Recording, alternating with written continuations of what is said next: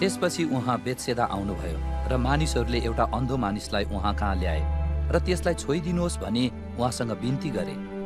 उहाँले त्यस अन्धो मानिसको हात समातेर त्यसलाई गाउँबाट बाहिर ल्याउनुभयो।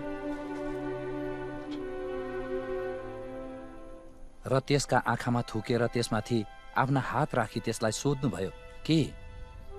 तिमी केही देख्छौ?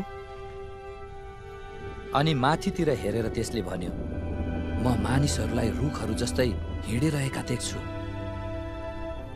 तब उहाँले फेरि त्यसका आँखामा हात राख्नुभयो।